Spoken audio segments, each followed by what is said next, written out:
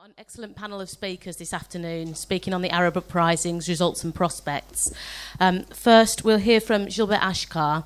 He's the Professor of Development Studies at SOAS and a leading socialist activist. He's the author of uh, this book that's at the front, Marxism, Orientalism and Cosmopolitanism, and author of uh, The People Want, a radical exploration of the Arab uprisings, which is sold out from bookmarks, but you can order that one, I'm sure, and buy this one at the end if you want to. Um, after he's spoken, he'll speak for about 25 minutes, and then Phil Marfleet will speak, who's um, a member of the SWP, who's been an activist and a writer on the Middle East. Um, he's a professor at University of East London, and then there'll be time for questions and other comments. But first of all, I'll introduce you Gilbert Achcar. Thank you.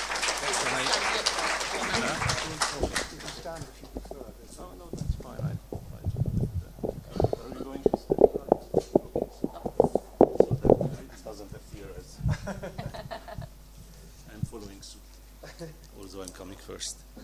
Okay, um, yes, uh, thank you, thank you very much, and uh, uh, thanks again, like every year, to, to Marxism for this uh, opportunity and this uh, uh, invitation.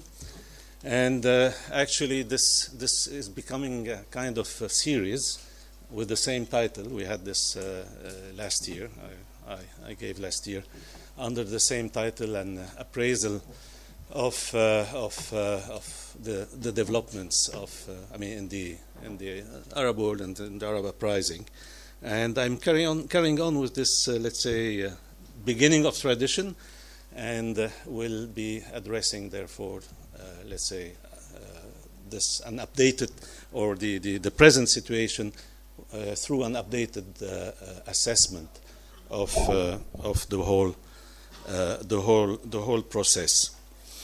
So uh, this year in particular, uh, uh, we well we had it already last year, but I, I, think this year it had it has increased a lot, and of course uh, this year has been marked by what happened last summer, which was still relatively new in July at uh, Last Marxism, which is the uh, the the offensive launched by so the so-called Islamic State uh, in in Iraq, and then it's uh, it's increasing spread all over all over the region. And this combining with uh, other features, especially the situation in Egypt with the extremely brutal character of the of the Sisi dictatorship, all this has created I mean, adding Yemen, Libya, events that have also developed a lot or started during the, the, the past year.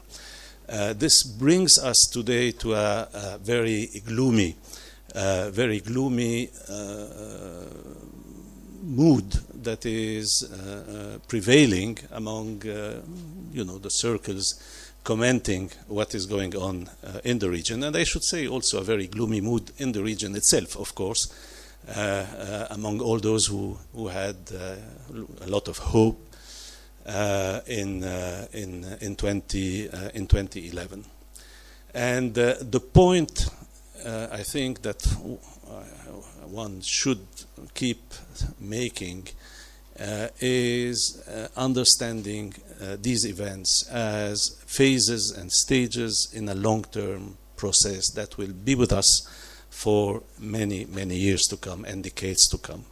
And therefore, it is, in my view, uh, as wrong today to, you know, succumb to this kind of gloom uh, that it was wrong in 2011 to succumb to euphoria, to have this kind of euphorian uh, perception of what was going on, uh, the spring, you know, and all that, as if uh, uh, everything will be uh, smooth and rapid and uh, will will uh, will have a, a, metamorphosis of the region into into a, a democratic, at the very least, a democratic part. I mean, an, another democratic part of the world. I mean, uh, so, so of course there were a, a lot of, uh, of uh, very false expectations, um, and as I've, I think emphasized maybe last year already, but I mean on several occasions.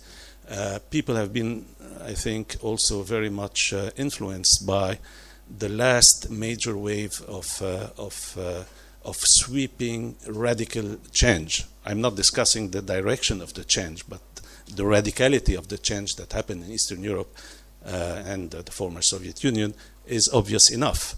And the, what was uh, uh, um, striking about it was how smooth this process was compared to all uh, deep radical transformations in, uh, in history. That was a, smooth, quick, and relatively peaceful process. And, and I mean, this image was still there when, when you had the beginning of, uh, of um, I mean, in the minds of, uh, of the, the Arab uprising. And of course, uh, we should know better since when, with our analytical tools, uh, we know how exceptional uh, uh, were the societies in Eastern Europe and the former Soviet Union in the sense that they were not ruled by a propertied class. Uh, uh, but by bureaucrats, functionaries, and all that, uh, most of whom believed that they could, you know, um,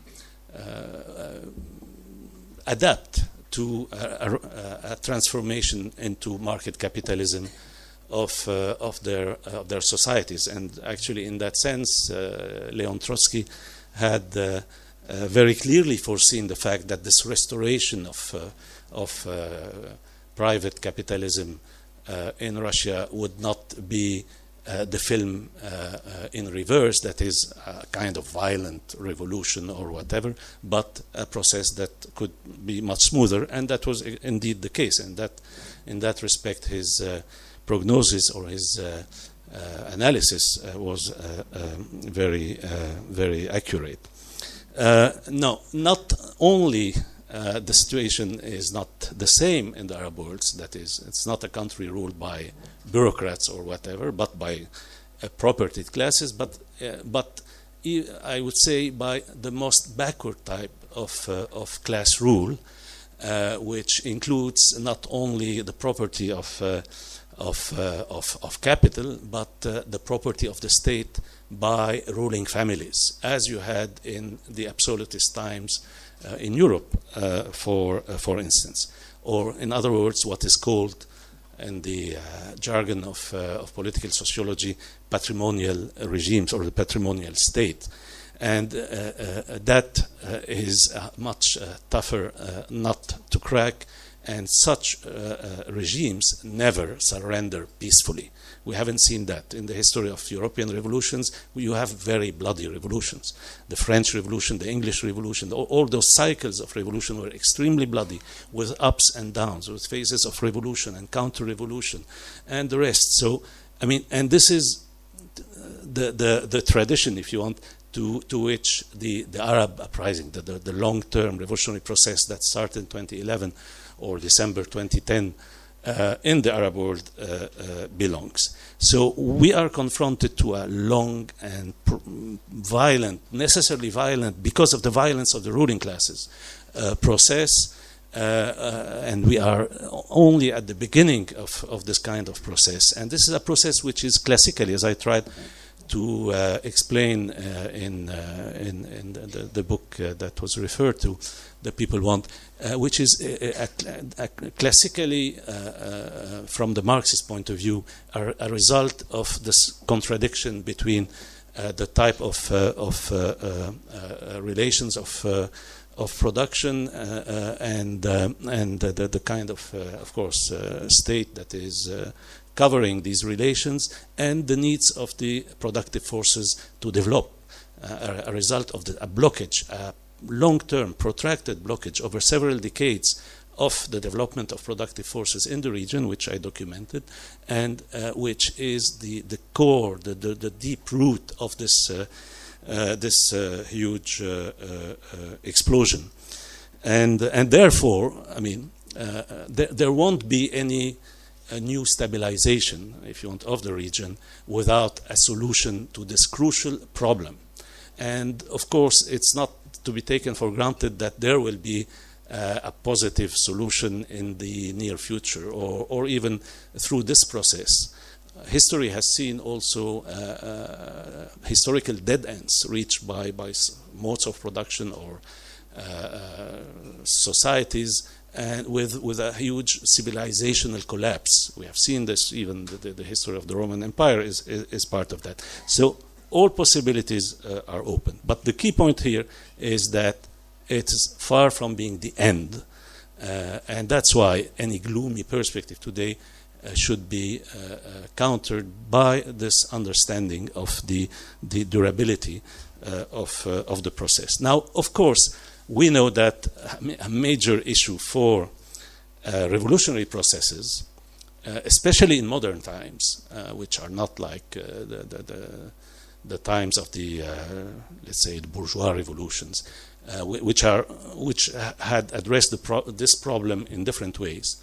I'm referring to the problem of leadership. The problem of leadership is, of course, absolutely crucial. And the problem is there is an obvious lack for uh, any social forces, organized social forces, therefore social political forces, uh, able to lead this process at this stage.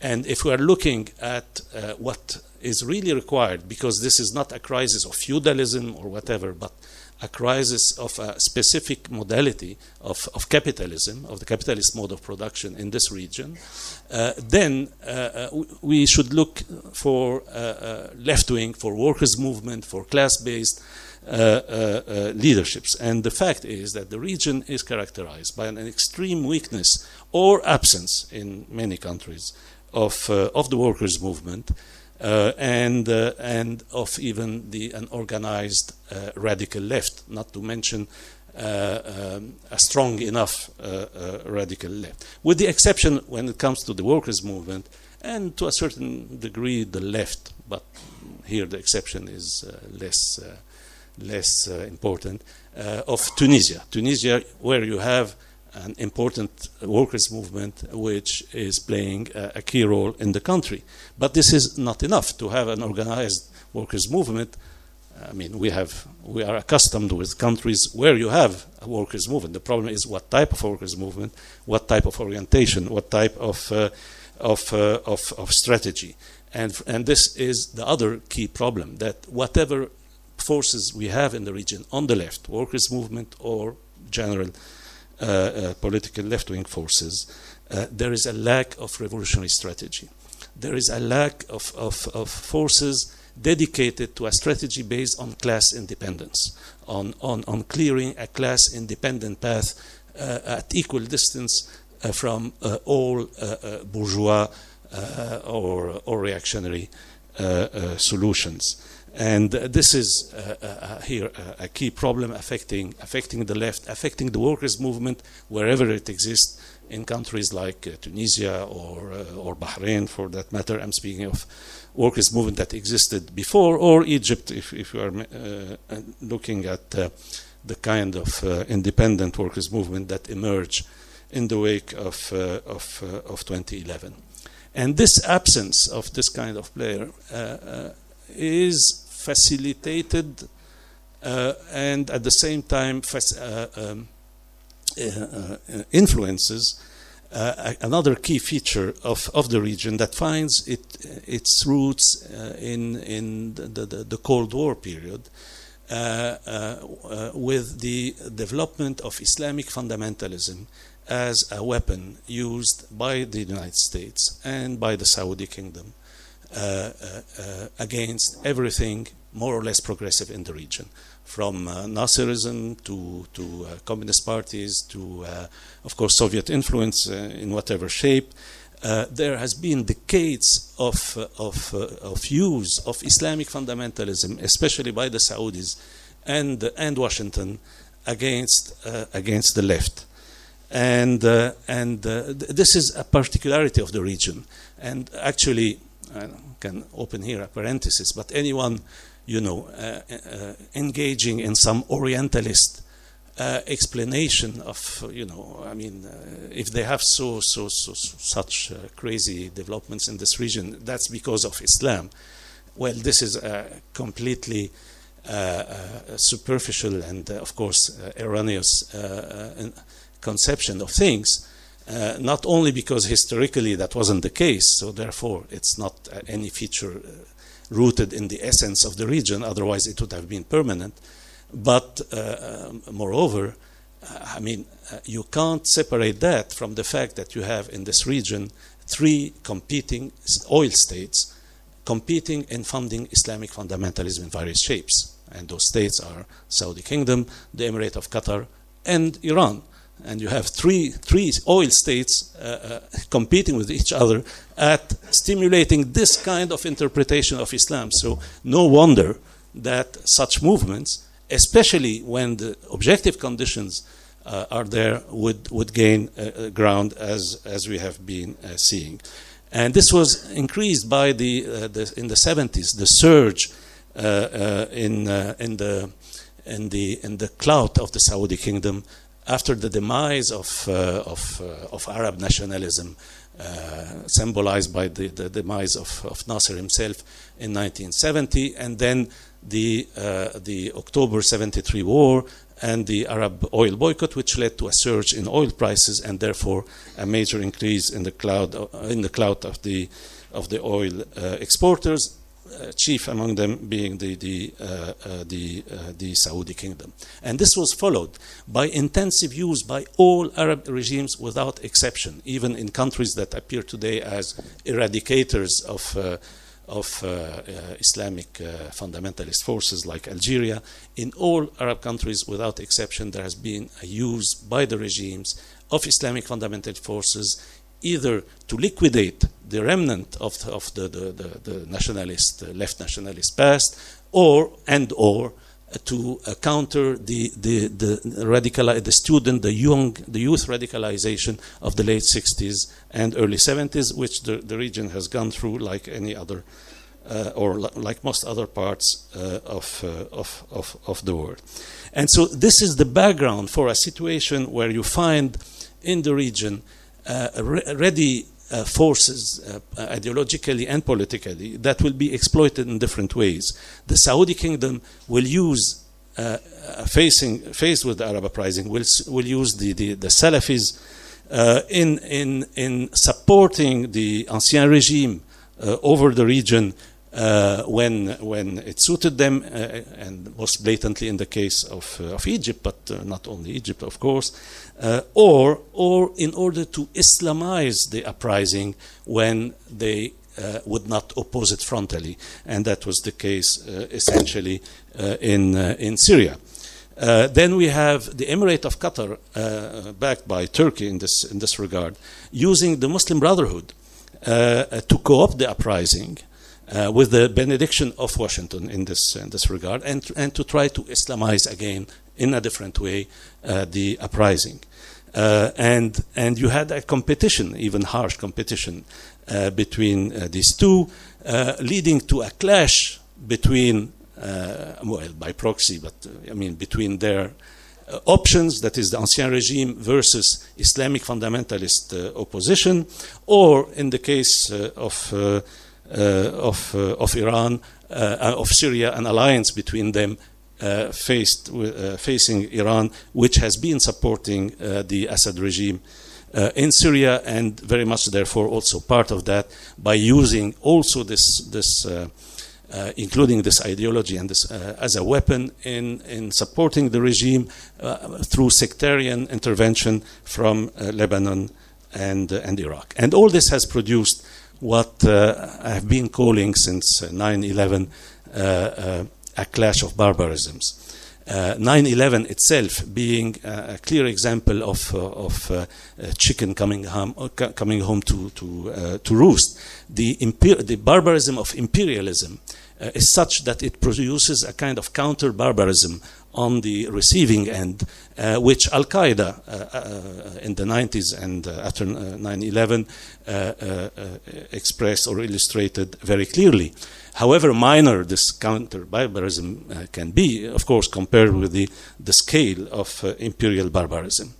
And the occupation of Iraq by the United States and this country uh, was a major escalation in this clash of barbarisms.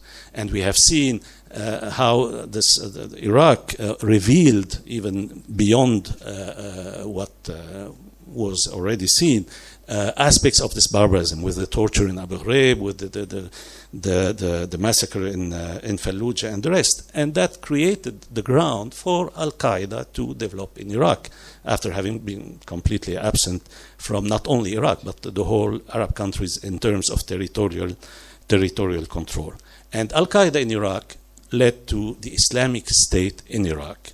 And this is the direct predecessor of the famous uh, ISIS, Daesh, IS, whatever uh, the, the term, which is the result of another stage and even higher stage in this clash of barbarism, Syria, where the, there it's not direct imperialist barbarism, but the, the barbarism of the Syrian regime, which was absolute and is absolutely extreme, uh, uh, unprecedented destruction by a regime of its own country and um, uh, massacring its own people, uh, and therefore creating the ground for the development of, of such uh, uh, fanatical tendencies on the other hand, and creating a ground which the former Islamic State in Iraq could exploit into creating its or recreating itself in, in Syria and then re-expanding in Iraq itself last summer uh, as I, I, mentioned. And all this is linked, of course, these developments are linked to the huge frustration of the aspirations of 2011. When you have anywhere where you have a, a revolutionary uh, uh, wave and surge, which creates a lot of hopes, and the hopes in 2011 were huge. Tahrir, Tunisia, wherever, even Syria, there were huge hopes, especially among the youth, about what was coming on. And those hopes were frustrated for the reasons I indicated, the, the main one being the absence of, uh, of uh, leadership, uh, leaderships up to the, the, the task. And frustration of revolutionary hopes always creates a ground for terrorism. We have seen that in the history of Europe the frustration of the youth radicalization of the late 60s led to development of terrorist organizations in Europe of a completely different kind, of course, but still terrorist. That is like uh, the Red Brigades, the Red Army Fraction in Germany, the Red Brigades in Italy, the Action Directe in, uh, in France, and all that. This is a historical pattern, and uh, the Arab region is not an exception. The frustration of the Syrians on the one hand, and the frustration of all Arab youth, I would say, for 2011, is what is uh, feeding uh, the development of uh, uh, uh something like like the so-called Islamic State. So we can do a lot of analogies, but they, they have, of course, their their um, their limitations. But, and I, would say they, they, are still better than some analogies with fascism, which I, I think are completely irrelevant. Um, um, and we, we see today in Egypt also the same uh, phenomenon going on, where the increasing brutality uh, uh, or barbarism in, in the full sense, I mean, uh, uh, the, the, the, Egyptian state as a, a so-called, uh, you know, state and not a failed state as it's called, although it's, it's running in that direction, has gone beyond anything known, you know, in those uh, mass uh, condemnation to death and the rest. And this is breeding, as we can see now developing in Egypt, uh, uh this frustration and the repression, all that is breeding uh, the same phenomenon. Now, to, uh, to conclude, I would just say, and here coming to the prospects, we're discussing results. Uh, first, so uh, uh, four points, I would say. First and quickly, uh, there won't be any stabilization of the region, and anyone dreaming of that, Sisi or anyone else, is just dreaming. No stabilization of the region before a solution to the major social economic problem that is at the root of the whole explosion. So we are here for the long haul. Two, second point, there can't be any such solution without the emergence of organized, progressive, class-based forces uh, able uh, to lead it. It won't come uh, from spontaneously. third point, we are now witnessing attempt by world imperialism, by the United States, by Washington essentially, to reconcile all forces that can be englobed, if you want, encompassed in the uh, uh, Uh, uh, in, in, the class uh, domination, the uh, capitalist class domination in the region. The, the Ancien regime, the, the Muslim Brotherhood, and other such so called moderate Islamic fundamentalist forces, and Iran. And Iran. And the Obama administration is trying to reconcile all these people uh, and designate IS as the key target uh, around which, you know, against which uh, everybody uh, would, uh, would unify. Uh, whether this attempt, these attempts will lead anywhere or not, still to be seen. It's ongoing. In Libya, you have these the, the, the, same kind of things. In Tunisia, they managed to get a coalition government of the remnants of the old regime, and Nahda, the, the, the Muslim, the Tunisian Muslim Brotherhood, basically. Uh, well, whether this will succeed at the regional level is a big uh, question mark. But my fourth point is that, uh, um, I mean, I wish this succeeds because it would provide a better condition uh, for the building of left-wing alternatives uh, to uh, this whole system instead of this very sorry spectacle of the left oscillating between alliance, uh, allying with one against the other uh, uh, of the two camps, Uh, uh, uh, ending into positions like the support of the, most of the Egyptian left to to Sisi, which was a disaster from the point of view of the building uh, of, of a left. So these are, I think, the main uh, issues that I would underline as uh, uh crucial at this stage of, of this whole development. Thank you very much.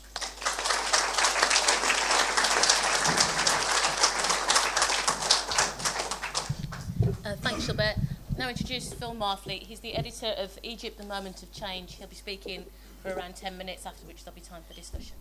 Thanks, Helen. Yes, I have a rather shorter time, so I need to get quickly to some key points. Uh, Gilbert has presented what are probably a number of contentious points for people in the room. I'll deal with a couple of them, but I'm going to leave the rest of them to you folks. I'm going to borrow from popular cinema by saying that I want to talk about three results and a prospect. And the first of these first of the results, if you like, I think is the assertion of the political agency of the people of the region. Now, of course, people of the, the Arab world were dismissed for generations by the colonial powers. They were said to be helpless, they were said to be passive, an attitude that was often taken up during and since the colonial era by aspiring Arab ruling classes and by actual Arab ruling classes. So in the 1890s, British colonial administrator Alfred Milner, later, of course, a Lord, Lord Milner, he described the people of Egypt as, he said, docile and good tempered. He said they were a nation of submissive slaves, not only bereft of any vestige of liberal institutions, but devoid of any spark of the spirit of liberty.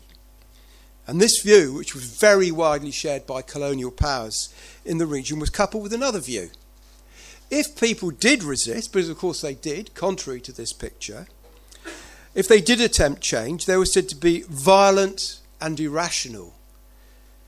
Because it was argued that Islam is violent and irrational. So, Orientalist and Islamophobic attitudes said that the cultures of the region were perverse for Milner, the man I just quoted, the British administrator, he said Egyptians were in the grip of a religion the most intolerant and fanatical. And the chief of police in Cairo during the great mass nationalist uprising in Egypt just after the First World War, he described the protesters as, driv- as driven by, I quote him, mad Oriental fanaticism. Now, these attitudes persisted through and after the colonial era.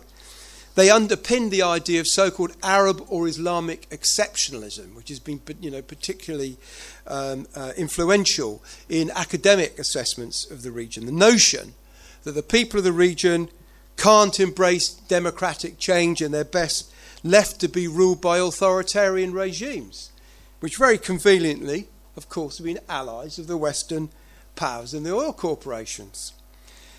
Now, the Arab regimes incorporated these views, not very surprisingly. The Egyptian historian Khalid Fahmy, very uh, uh, acute observer of, of modern Egyptian life, he wrote at the start of the revolution in 2011 in Egypt, he wrote, We were taught in schools, we Egyptians, he says, were taught in schools that we were a patient and passive people. And for generations, we accepted facile sayings about the genius of Egypt, its tranquil landscape, its gentle river, and its undemanding people. And so, my first point, against all this background, which is a very powerful influence on people observing the region from outside, but also a powerful influence exerted by the ruling class in terms of dominant ideologies in the region, is that the Arab revolutions have given a very, very decisive answer. They were initiated by and sustained by mass movements focused upon social change and upon, upon political change and upon social justice. And they, of course, provided. It wasn't just the case that these people were exceptionally backward and perverse and hopeless and helpless. On the contrary, what happened from the moment of uh, Tunisia and from Tahrir onwards was that the Arab masses became models for solidarity and emulation around the world. Hence the Occupy movement, the Indignados, our modest, modest experience of the Occupy movement in this country. The first thing that I saw when I went down to St. Paul's when the Occupy encampment was set up you may, others in the room may have seen this, was a street sign modelled on the, with the, the graphics of the London street signs, which said Tahrir Square, London EC3. And, and there's this very general sense of being inspired and wanting to emulate the movements um, of the Arab world. Um, and of course, at the heart of these movements, in the key states involved, and the key states I identify here Tunisia and Egypt, has been the working class achieving historically high levels of struggle, mass strikes, creation of the new independent unions, novel attempts in some cases at worker self management, except the notion of exception, exceptionalism should be dead. Although I'll return to this point very briefly later on. So that's the first point. Second, a second result is, I think, the confirmation that even movements with the power to remove dictators as in several cases in the region, don't necessarily come equipped with the political agendas that can remove dictatorships. And the, the, experience of the past four years, almost four years, directs us to the problem of the state. So, Mubarak, Ben Ali, Assad, and others thought the state, their state as they saw it, was unmovable. They were, of course, wrong up to a point. The state and the capitalist classes of the region have been shaken, but in most cases they've survived. Most cases because the Libyan state has disintegrated. In the case of Syria, the damage to the state has been enormous. In Egypt, the state is wounded, but it remains, of course, intact, very much so. And is carrying out a program of retribution against those who made the revolution. I think there's a profound lesson here, especially clear in Tunisia and Egypt, that the state, perhaps people won't be very surprised when I say this, that the state cannot be reformed in the interests of the masses. And in fact, the attempt to do so, the attempt to reform the state, particularly when there's a mass movement underway, the attempt to reform the state in the interests of the masses demobilizes the movement and opens the way to counter revolution. The failure of political leadership to which Gilbert has referred, in Egypt, for example, has been, at least in part, in substantial part, in the commitment of the old left, which at various points in Egyptian political life has been influential, quite important, and of the nationalist parties in Egypt, the commitment to the state itself with the result that even the democratic, democratic gains of the movement have, for the time being, been largely lost. This is an extremely important point, I think, because the parties of the old left, the Communist Party, the Radical Nationalists, and some of the new leftists, the social democratic current, currents and so on that have emerged, saw as their main task the, the opening up of democratic space and the defense of democratic gains. And one of their critiques of the new left, which emerged in the revolutions, the current with which were associated, for example, in Egypt, the revolutionary socialists, was that they weren't focused enough on the democratic issues. They were too focused upon the workers, the workplaces, the new unions, and so on.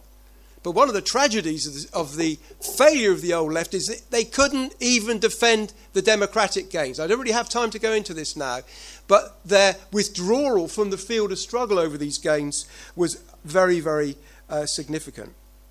Um, as we learned from many contributions to the very interesting meeting on Egypt yesterday, a different political leadership is required, one not focused on the state, one which didn't rush as in Egypt, as in other parts of the region, to an accommodation with the state and particularly with the military, with, of course, desire. Just think, I mean, I don't have too much time for this, but just think that in the case of Egypt, the leader of the independent trade union movement, who carried the hopes and aspirations of millions of Egyptian workers, was at one moment, up until uh, July 2013, the leader of this new insurrectionary movement or a movement with insurrectionary potential. The next moment, he was the Minister of Labour in the government of Al Sisi. How do you make that switch? You make that switch actually because it's not as radical a, a change as it might seem in our minds because of your orientation on the state and your reformist expectations. So, um, a different leadership is required on the left. Above all, the workers need independent parties focused not upon the state, but on the interests of the masses. Brings me my third, my third result or third outcome. Is, I think, confirmation from the experiences of the revolutions of the character of Islamism. Not in the Islamic folk, uh, Islamophobic context, the dismissal of all these movements as backward, perverse, and so on, but seen in the context of a modern political movement in which the key element is the contradiction built into Islamist movements. And I guess here I'm putting a different emphasis upon the, uh, uh, the situation, an emphasis different from Gilbert. We know from the history of these movements that they have conservative leaderships attached to the capitalist agenda, but they very often drawn in uh, supporters on the basis of a much wider populist politics. We see this uh, repeatedly in the case of the Muslim Brotherhood and its affiliates which have had, of course, a disastrous experience over recent years. The mass movements, like the movement in Egypt, showed that cross class movements and organizations like the Brotherhood are not sustainable in periods of upheaval. And in the case of the Brotherhood in particular, uh, the organization experienced the defection, the desertion of enormous numbers of its members because of the focus of the leadership on narrow business interests um, and the entrenchment of the organisation as such in the institutions of the state.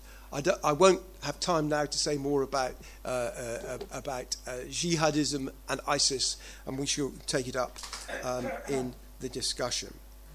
Um, I could include, if I had time, other results, key issues, outcomes, especially we ought to think about the matter of sectarianism and the role it's playing in the current phase of communalism. And we also ought to say something about Palestine. But I want to move to, the, to a prospect. I've, I've had three uh, results. I want to throw in a prospect. Um, and here I don't differ very much from uh, Gilbert. The issues which brought revolution remain the impacts of neoliberalism, the role of the authoritarian state, the arrogance of power each of the mass movements has been faced with specific expressions of these problems and with specific outcomes. So Tunisia is not the same as Syria, Libya not the same as Egypt, and so on. But what's general is that these problems of neoliberalism and the accompanying authoritarian state haven't been resolved. And at the same time, millions of people have been through experiences of mass struggle that can't be taken from them. As problems return, of course, the problems are still there, but as problems return and intensify, people who've learned very profound political lessons from this mass engagement, this mass involvement, and let's not understate the extent to which people experienced new freedoms, new, new strength, new collective power. It was an absolutely profound experience. I look around the room, I see people who spent some time in Egypt, some time in Tunisia. Unfortunately, not so many who were able to spend time in Syria, but that's, that's another matter. But who did have some experience of these movements and who have learned from the participants how profound they were. Now, in obituaries for the revolutionary movements, which have been written virtually since they began, but increasingly often in recent months, written by media people and academics, it's the same old story. We've gone back to the earlier story. These are exceptional societies. The natural uh, political order is the order of the authoritarian state. What should be interested in is the kings and, uh, and the emirs and the presidents and their capacity to maintain these uh, structures which guarantee their power from generation to generation. The people, as I said earlier, very conveniently, are the people with whom the oil corporations and the Western states deal. So these are the exceptional societies which the political culture, and particularly Islam, it's said, make for passivity and perversity. And at the same time, fitting neatly with all this, the Arab rulers want to convince the people as Khalid Fahmi put it, they are indeed undemanding and require to be ruled. Well, I'd suggest that they don't require to be ruled. I think people have made that very clear. And they won't accept the failures of the old order. The key issue at stake will be how far revolutionary activists have learned and acted on the lessons of the last four years.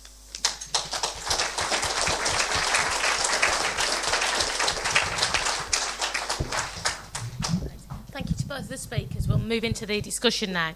Can you raise your hand if you want to speak, and I'll take a note. I'm going to be really strict on the time because obviously there's a lot of people and not a lot of time. So I'll tap after you've had two minutes, and tap again after three, which means wind up, and then I'll start interrupting you. But you need to stop on the second tap. Okay, the gentleman at the back, and can other people raise their hands, and I'll note it down.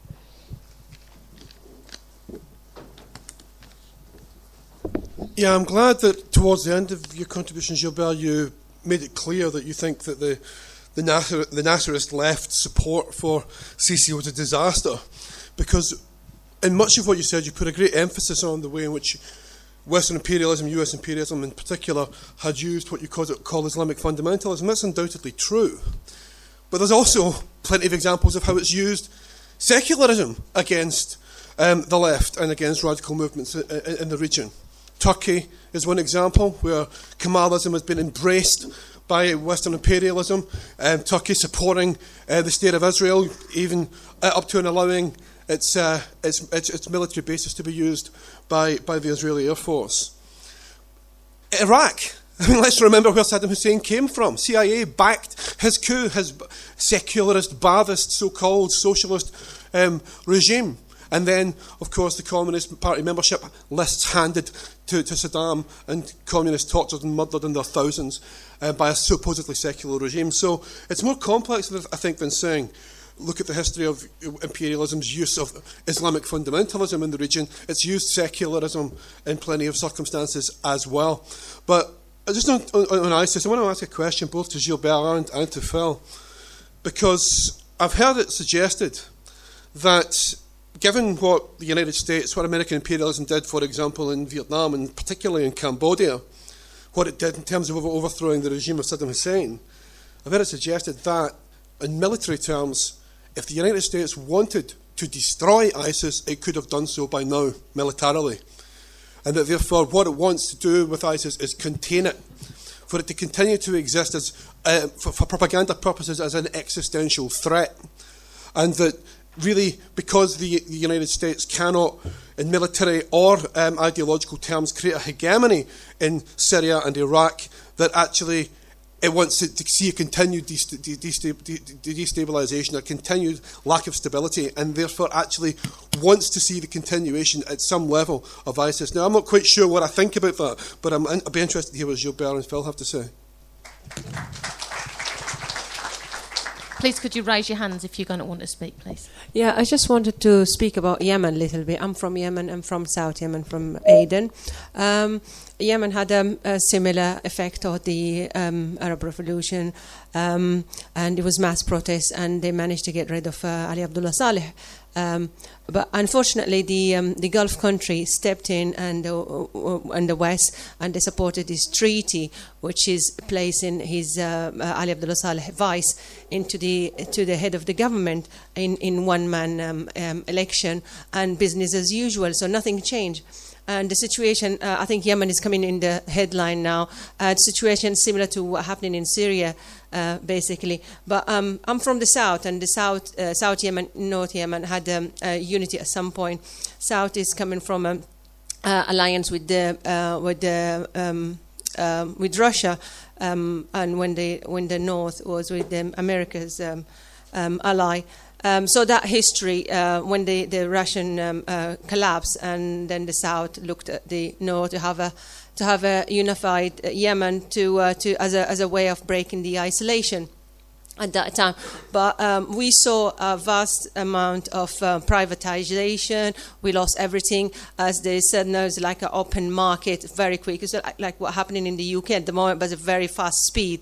So, um, you know, in, in four years, uh, we lost everything. We lost all the public um, health um, uh, factories and, and all that. So um, the, the Southerners then start to call for independence back to the, uh, to the border before the, uh, the Yemen unity. And since 2007, there was a movement on the street, and that movement continued. Um, so it's, it's really long before the Arab Revolution. So, but the, when the when the 2011 came, so the the Southerners put the, the flag down of the of the South and say, let's get rid of uh, Ali Abdullah Saleh but the, the North Yemen then um, um, take off the treaty and, and, and, and accept it uh, when we continue um, um, our struggle for independence. At the moment, there is a war in, in, in the south. Um, Aden, specifically, um, uh, being sieged for over three months. Um, so, unfortunately, the peaceful uh, movement turned to uh, armed struggle. Um, but the, the uh, you know everything is going. You know, Aden suffering of uh, lack of food, medicine, uh, disease.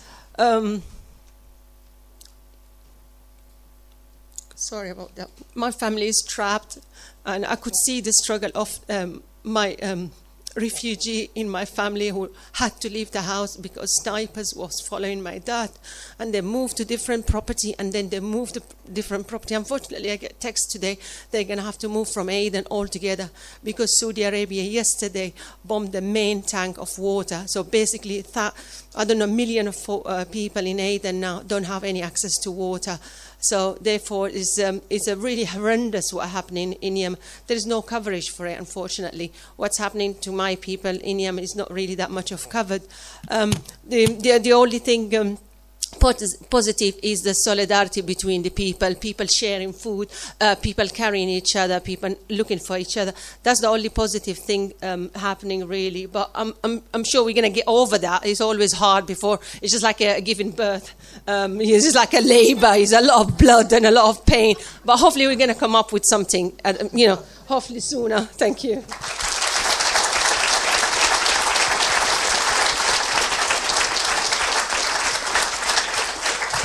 Um, was there someone on the front row who'd indicated? Was there a gentleman on the front row? No? Okay, uh, the man in that aisle there, please. Okay, you'll be next now. You're too slow, yeah.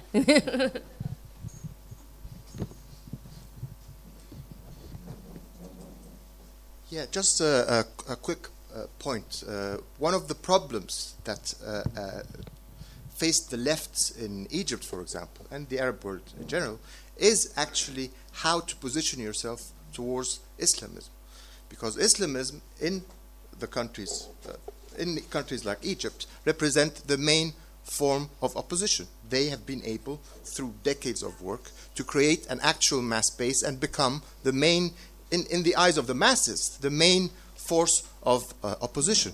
They are not just proxy uh, uh, forces uh, uh, uh, financed here by Saudi Arabia and there by Qatar. I mean, for example, to lump together Islamic fundamentalism, again, was one of the main mistakes of the left uh, in Egypt. To say that the Muslim Brotherhoods, the Salafists, with all their different uh, uh, uh groups and different, uh, are all just results of differences within uh, uh, Saudi Arabia and Iran, between Saudi Arabia and Qatar, uh, uh, between the US uh, uh, supporting these people, Turkey supporting those people. I think that actually removes the agency out of all these movements, where they are coming from. Where, how they are based. For example, in Egypt, even within the Salafi movement, the most reactionary side of uh, Islamic uh, uh, Islamism. You have Salafis that are against the military rule, against the, the, the, coup that took place, and you have Salafis that are for the military coup and part of the alliance that is ruling Egypt uh, uh, uh, today.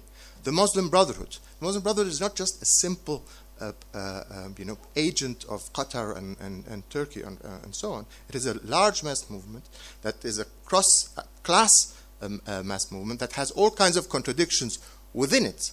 And the question that arises from this, because most of the left see Islamism either as fascism or as just another counter-revolutionary movement. So you have a counter-revolution in Egypt represented by Sisi, but you have a counter-revolution on the other side as well, represented by the Muslim Brotherhood and the Salafis. And this is a paralyzing analysis, I think, for the left, because it means when there is a fight on the ground between Muslim Brotherhood youth, for example, and the state, and the military, and the police, in campuses, uh, on, the, on the streets, what does the left do? It does nothing. It is paralyzed. Even the good left, even the left that are not with Sisi, even the left that don't see the Muslim Brotherhood as fascists, they just see them as a counter revolutionary, reactionary force that they cannot work together with, even independently. So the idea is where do you put yourself? Which side of the barricade? Because that's the battle now. The battle, for example, in Egyptian campuses is between Muslim Brotherhood youth on the one hand and a vicious military repression from the other side. Where does the radical left situate itself? Does it situate itself? Some of them now situate themselves with the state because they prefer a secular dictator uh, uh, to uh, working with, with Islamists. but many of them actually are just paralyzed. They can't work with the Islamists, they can't stand with the state, and so they disappear from the political scene. And I think this is uh, the actual, there is, a, there is a level of abstraction of saying that these are all just different counter revolutionary uh, forces because uh, it takes you out of the actual battle on the ground. And that is a question I'm, I'm, I'm posing both to Gilbert and to Phil uh, in terms of what does this mean? What does this analysis mean in terms of tactics uh, on the ground if we want to create a left that is relevant uh in a country like Egypt?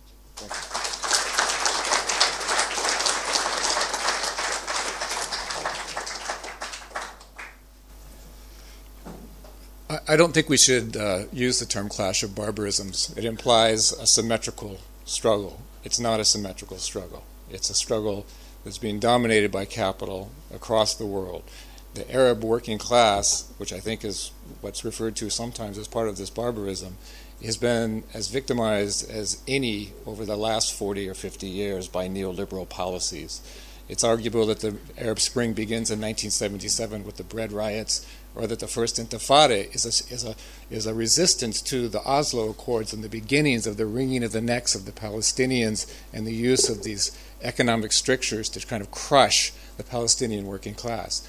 So I, I have a couple of observations to make. I think that Phil is correct. What was destroyed in 2011 was a notion of this Arab exceptionalism, that actually a self determining Arab working class could actually stand for across the world the interest of working class people everywhere. We saw this all across the world simultaneously.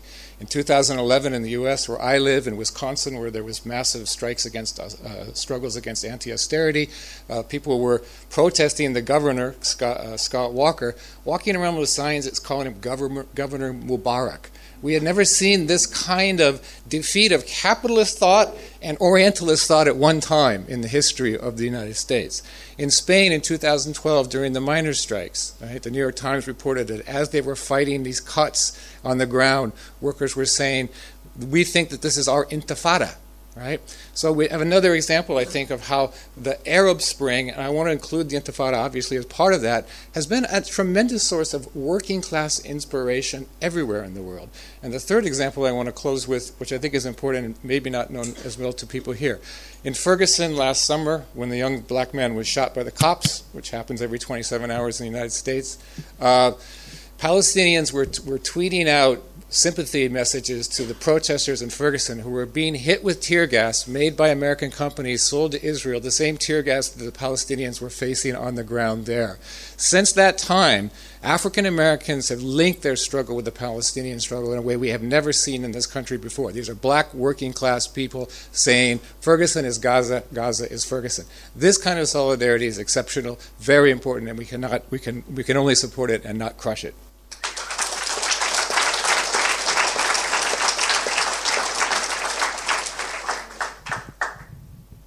Thank you. Thanks to everyone who's contributed. There's no one else who's indicated, so I'm going to make an announcement, then bring the speakers back in to give them time to reply properly um, before we have to end.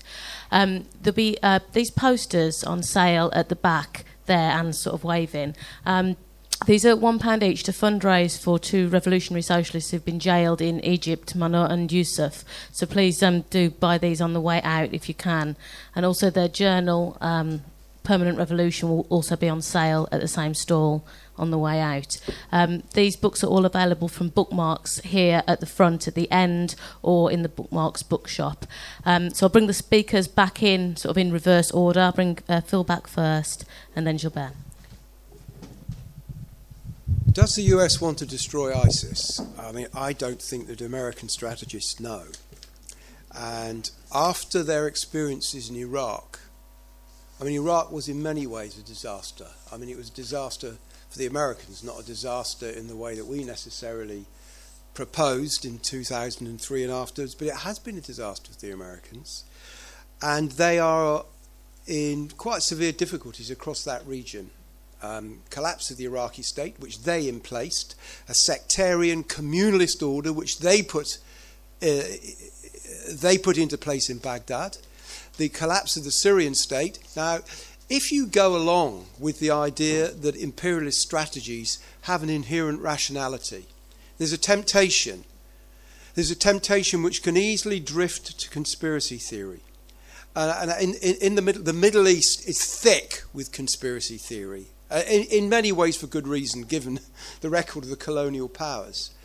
But if you see imperialist strategy as rational, you know, that the people who in the Pentagon or elsewhere or in Whitehall who decide how to proceed have got adequate data, understand what's happening on the ground, have sensitivity to the different forces at play, and then can intervene and there's going to be a desired outcome. Well, that simply ain't the way it works. It's never been true of imperialism globally, but particularly in the Middle East. The thing is riddled with contradictions and with what the Americans call blowback. Do you remember the known unknowns? Was it Rumsfeld? I can't remember. Yeah, the known unknowns. The Middle East is full of the unknown unknowns, the known unknowns. and um, in relation to ISIS, I don't believe that the Americans really have got anything more than a type of, you know, week by week or month by month approach to this at best. And why do I say that in particular? Because their closest allies in the region, alongside Israel, and that's the Saudi ruling class, are completely split down the middle. They're split down the middle because it is certainly the case, and I think Gilbert referred to this, that there are Gulf regimes that have supported various elements of the Islamist movement across the region for many decades. And it's certainly the case, as far as we, we're very short on hard data on ISIS, but it certainly seems to be the case that the Saudis and others have supported ISIS in various ways with finance and arms and so on. And that was the position, the dominant position in the Saudi ruling family up until quite recently.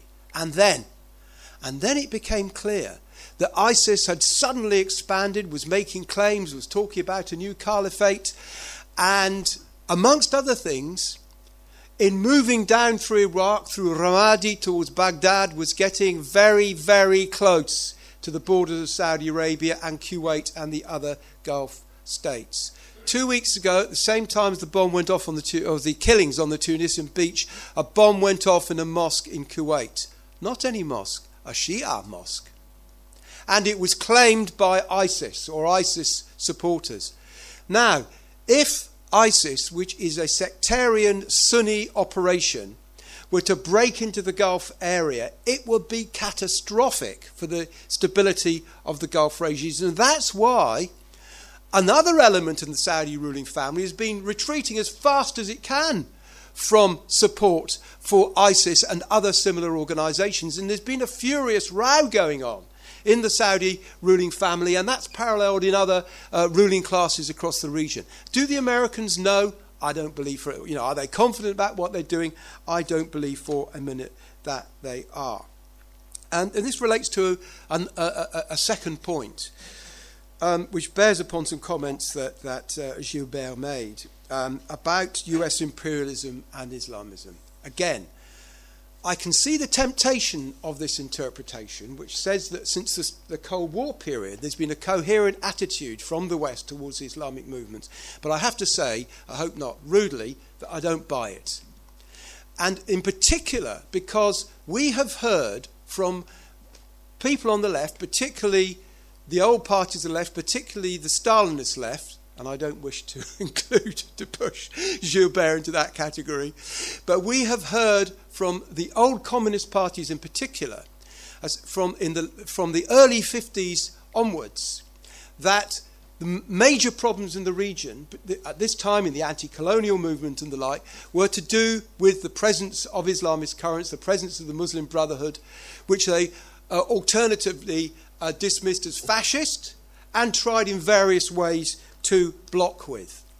The interesting thing is that throughout the 1950s and 60s, there was a record whereby, in general, the Islamist currents managed to hang on in various forms. When the old left either completely disintegrated and disappeared or became a shadow of its former self. Very often because it liquidated into the governments of the independent Arab states. In places like Egypt, the Communist Party liquidated itself in 1964 because it said the progressives were in power. Now, in doing that, they ushered further towards the centre of the political stage the Islamists. And then they said, and yes, and the Islamists are either fascists and or they are the work of the imperialists.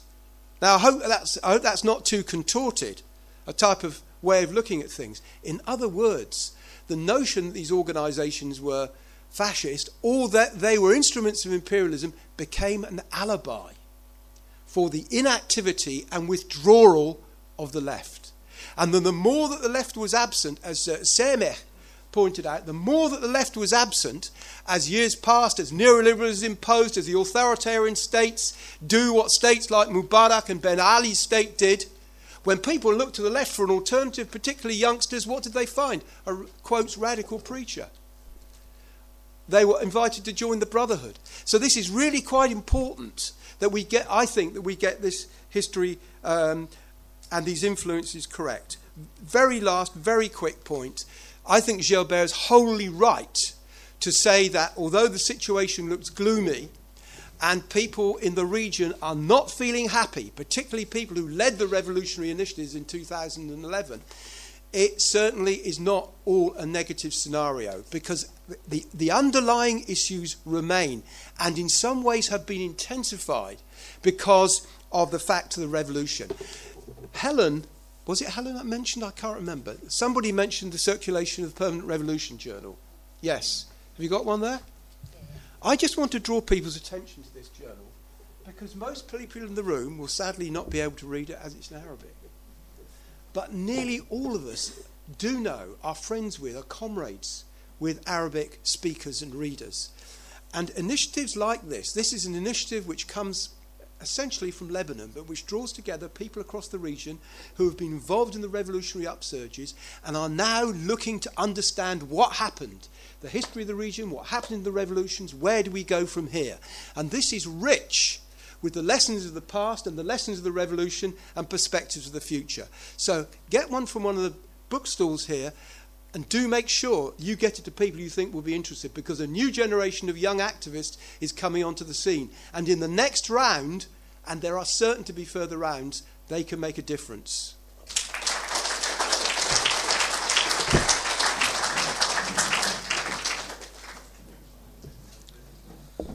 Oh, thank you very much for all the, the remarks and all that. So very uh, quickly, because we, we don't have much uh, much time. Well, uh, first about uh, I mean, when you say that uh, the imperialist barbarism is the main culprit in producing a counter barbarism which is minor compared to it, you're not putting them on the on, a, on the same uh, foot. So this remark was, I think, misplaced. Uh, and actually, you, we are living days where every day you read in the press about the barbarism of ISIS or Al Qaeda and all that.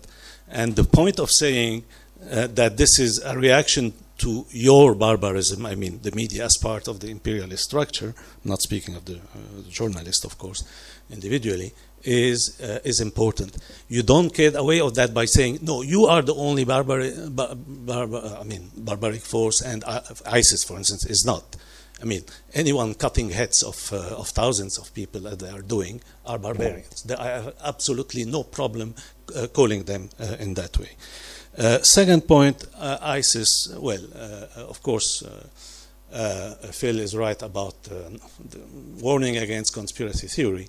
And I should add, the, all conspiracy theories involving the United States are based on the idea that the United States is an almighty power. It's not the United States has been defeated in Iraq. It suffered the most important defeat in its imperial history, and it, it, there are very clear limitations to what it can do. Hence, this attempt at reconciling all these forces, the Ancien regime, uh, the Muslim Brotherhood, and Iran in the region in order to create some kind of, of class coalition that would stop this whole thing and would oppose ISIS. They know, everyone knows, I mean, anyone having any knowledge of, uh, let's say, uh, how military issues function, that you can't defeat a movement by air force alone. They know very well that the problem is troops on the ground. The United States is not in a position today. That's a sign of weakness to put troops on the ground again, and it's not even in a position to find suitable allies in the region. It's, it's in full contradiction. Uh, second point secularism. I mean, any idea that the United States is in the business of spreading secularism or using secularism in the region is a pure illusion. And Sameh, to call Sisi a secular, I think you yourself would regret having used that term. Sisi is definitely not secular power and he's uh, uh, he's supported by the Salafis. He's a uh, he's a devout Muslim. He projects himself to be like that, and and he doesn't raise the banner of secularism at all. He's never used that term. Absolutely no way. Even the left in Egypt are afraid of using using the term. You remember? You remind me of, of a discussion I had uh, a few years ago here, uh, nearby here in London, uh, with someone I'm not going to, to name was explaining that secularism is the ideology of empire, and that the United States invaded Iraq in the name of secularism. I reminded this person that the United States toppled in Iraq a regime that was supposed to be secular the Ba'ath uh, regime of, of, Iraq, starting from the Saudi kingdom, which is the most fundamental state on earth, and bringing with it the Supreme Council for the Islamic Revolution of Iraq and the Islamic Party of Iraq, uh, and putting them in power directly. Paul Bremer.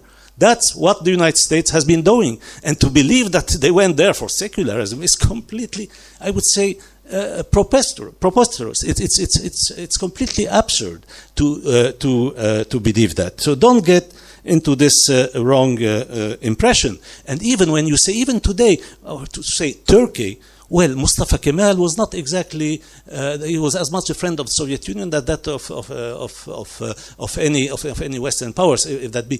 But what's the line? What has been the line over the years of the United States, uh, if not uh, full support to the AKP, which is not exactly uh, a secular party in Turkey? But it's not, it's not problem here. You have and and uh, and sorry Phil if you don't buy it I'm not trying to sell you anything. This this is over documented the, the, the, the way the United States and this country again uh, have been using Islamic fundamentalism during the Cold War. It's over documented. The connections between the Muslim Brotherhood and the CIA and, and, uh, and the Saudi Kingdom are more than uh, well known. And all this culminated in Afghanistan when you had the CIA printing Korans in Langley, in Virginia, in their printing Korans uh, uh, and, and other kind of, uh, of religious literature for the use uh, in, in, uh, in Afghanistan. So you can't escape this uh, truth. But that's why the problem here is in this analysis, indeed, and thank you for raising it. you wanted to speak with me. I, I think it's clear now to me just to raise that point. So thank you, but that's useful. Why not? Uh, um, uh, let me tell you one thing. The argument that, well, this is, you know, uh, just to use, there is a contradiction built in this movement. I'm sorry, it works to any mass movement beyond a small group. Uh, and the question is, any multi-class mass movement, the question is, what is the dominant feature of the program, of the leadership, of the class and programmatic na nature of the leadership. Otherwise, I can tell you there is a contradiction built in UKIP. There is a contradiction built in any, well, the Nazi party, to remind you, had a, a, a section of it which was working class and which was decimated in the most, in the bloodiest manner, the, the night of uh, long uh, knives. And so what? Did this, was this the point of departure to analyze the Nazi party as such, I mean, its leadership and how you, you, you relate to it, this is a completely irrelevant argument. The real argument is what's the nature of its leadership, what's the nature of its program. And we have seen, everybody has seen in Egypt what the Muslim Brotherhood are with one year of Morsi. One year of Morsi was enough to, to, to absolutely see how, how much they are neoliberals, how much they are undemocratic, and, and the rest. And that was uh, aside from secularism and, of course, their sectarianism, to which I, I'll come uh, uh, in, a, in, a, second. And, of course, we have the Egyptian left. I mean, I don't need uh, to be told. I mean, I think I, I myself expressed even even now myself uh, very clearly about what I think of the attitude of the Egyptian left. But how about the attitude of the Syrian left, which sticks to the Islamic forces? with the same kind of logic that you have, they can have. And this is as seriously damaging and has been as seriously damaging to the Syrian uh, uprising and revolution that the Egyptian left attitude, which is the reverse, uh, has been to the uh, uh Egyptian revolution. We have to understand one thing. Class independence is crucial. If you don't clear a path of the left on left-wing values, including feminism, including, I would say, uh, uh gender uh, uh, equality in all its aspects, including, of course, fighting gay oppression and, the rest. If you don't build a left on a clear path which is independent from all those reactionary, class, uh, uh, uh, class oppressive currents, you won't get anywhere. Well, that's what is requested.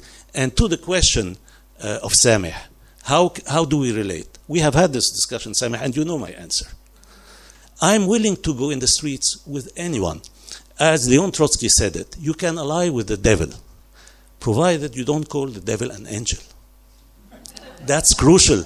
You can ally with the devil provided you don't mix banners, provided you keep your independent program, provided you don't walk with the devil under the devil's slogans. So, if there are young people be them Muslim Brotherhood or even I would tell you ISIS, whatever, willing to walk with us in a demonstration under slogans we accept.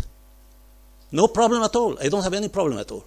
But that we go with them with sectarian slogans, anti-Copt slogans, anti, anti-whatever slogans, no way. So that's the key point.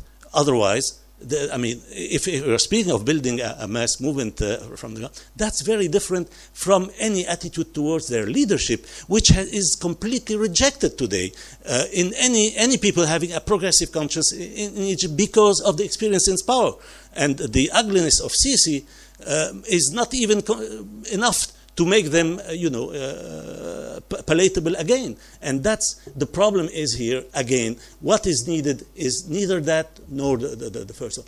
a, a, a left that fights against all these people on a class program, on a class identity, and, and builds itself like this. And if we don't do that in Egypt or any other country of the world, including this one, of course, we won't get anywhere.